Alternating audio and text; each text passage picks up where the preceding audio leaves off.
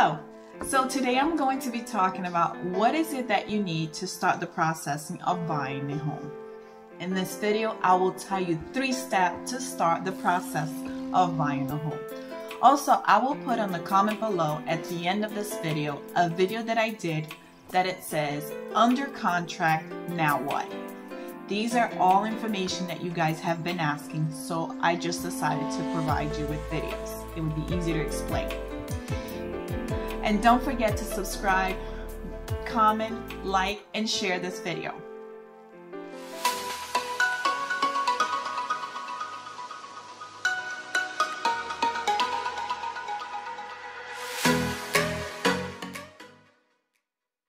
Okay, so what would you need to start the homing process? Number one, get a realtor that you can trust. Yes, even though you might hear get a lender first, but that realtor should have a group of um, mortgage lenders that they can they work with already and then they can provide for you that fits you the best. Number two get organized. Get a folder that said maybe that says um, mortgage application documents okay? And i will list the names of the document that you might have so that way when you're ready all you got to do is go to that folder. So a the last two years of tax return, make sure you get all pages, even though if it's blank. Tax return, everything. W-2s or 1099s. B, the most recent pay stubs. Uh, normally two to three months. And if you don't have, just ask your employer. Maybe they might have it. But if you get a check from your boss, go to your bank statement. You should have um, a copy of when you deposit it. C, bank statements, all pages. This happens all the time that people get the bank statement and it's always missing the blank page. All of them, even if they're blank, all of them, from beginning to end. Um, and I would say between two to three months on that as well. Just have it ready.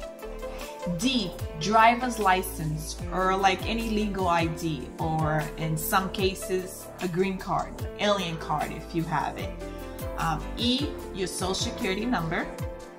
F, the transcript. Now, this is very important. A lot of lenders don't ask this up front, but sometimes at the middle of the transaction when we're like close to closing, then they want to ask that. And sometimes it could take 10 days to get it and that could put you behind of closing. So just order your transcript. Um, when you order, when you go to the IRS, it would give you you can choose options and one of them would be for applying for mortgage. Just go ahead and hit that and order it. Uh, that way when you do start the process and they ask for the paperwork, send that with them as well. Now, these paperworks that I just told you from A to F, this is just for you to start. It all depends on everyone has um, are different, you know, it's case by case. So then we have these other documents that I will name as well, and that's G, child support if you get child support or if you pay any child support. H, social security if you get social security, if you receive it. Um, I, retirement plan. J, divorce papers if you have any. Or, you know, death paper if you went to probation. Anything that you might need like that, get it. Um, K, any other income from um, that you get any other side job or maybe if you have a rental like a house that you rent and you get income from that get those information as well and L for the VA you get uh, the certificate of eligibility the form DD212 now your lender will ask that for you but if you can get it ahead of time the more paper you have ahead of time the quicker the process goes and and it will be easier for you to avoid any hiccups. Now, these are some of the things you need to gather up if you're planning to be a homeowner. And just so you know what they'll be asking ahead of time. Um, that way you won't be aggravated or, or surprised about of the amount of paperwork that they'll be asking you. And it's pretty much standard with all of them. and it's more information than it was required back in the past. They're just trying to avoid another mortgage um, crisis like 2008. Just be mindful and just um, just have it all ready and organized. And that brings us to number three, apply for the mortgage. They'll provide you with a pre-approval um, and that pre-approval will be basically the most you qualify for. And with that, you'll be able to put in an offer. With some people, if they have cash, then they um, they'll just have to get a proof of funds from the bank.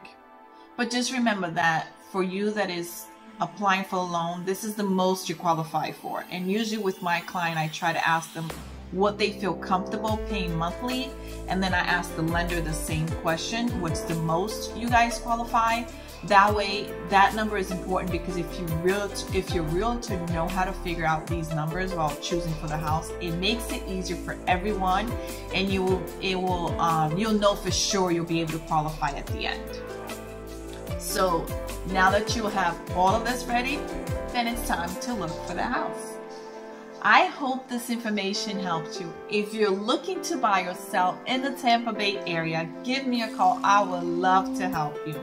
And thank you for watching this video. Go ahead, click the subscribe button if you haven't already so you can have more information like this. Leave a comment if you have any or if you know of any, if you have any other questions below. And also share this video with somebody that might need this information. See you next time.